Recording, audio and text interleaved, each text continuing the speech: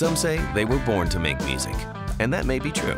However, most artists who actively pursue the craft can cite their influences like an homage to one's forefathers. They all know that each new sound or style is built upon the shoulders of giants. And most of the time, they can tell you about a moment when their passion for music was awakened. I was in Chicago and Milwaukee with a sales job, was watching Oprah, and then she says, find your passion. I heard that a million times too, find your passion. And Oprah turns the camera and she's like, if you don't know how to find your passion, it's the one thing you would do for free.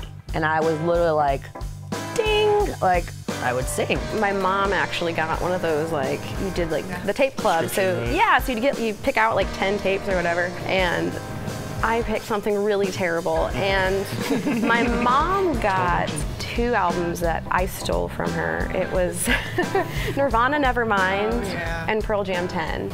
I totally wore those tapes out. I started off playing on just sports like 24/7. It was kind of just like what I wanted to do, and uh, I was always in choir just because it was an easy grade.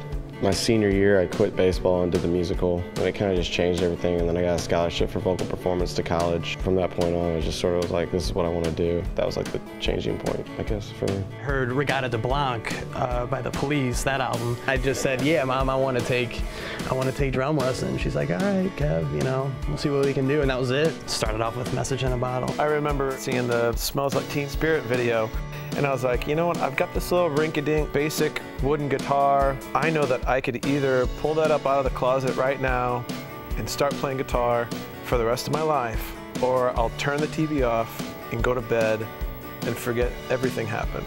I was at a pivotal moment, and I decided to pick up the guitar before I went to bed. To find free music and cool stuff, go to ChevyMusicShowcase.com.